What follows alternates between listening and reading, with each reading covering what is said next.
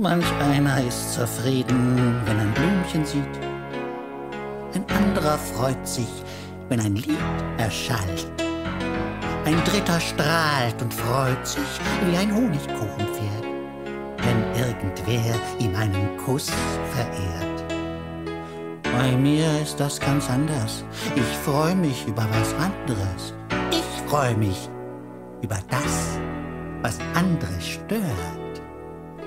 Ja, meine größte Freude ist die Schadenfreude. Da kann ich mich so herrlich amüsieren. Wenn andere fallen, gegen Wände prallen und beim Balancieren das Gleichgewicht verlieren. Ja, ja, die größte Freude ist die Schadenfreude. Da hab ich einen riesengroßen Spaß. Wenn andere stolpern, durch die ich mir vor Freude einen erst. Manch einer freut sich riesig, wenn die Sonne lacht. Ein anderer wandelt selig durch die Nacht. Ein dritter ist zufrieden, wenn er ein schönes Märchen hört oder wenn ihm einer ein Geschenk verehrt. Bei mir ist das ganz anders. Ich freue mich über was anderes. Ich freue mich über das, was andere stört.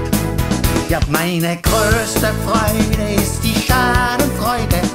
Da habe ich mich schon köstlich amüsiert.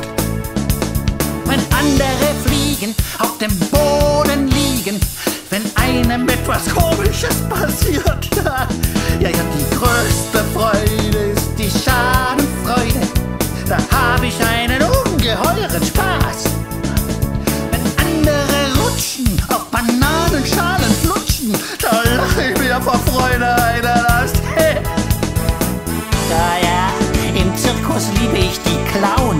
wenn die ins Wasser klitschen, wenn die Torten fliegen, wenn die karierten Hosen runterrutschen, ja, ja. Oder wenn sie die große Pauke fahren, köstlich, sag ich euch, köstlich.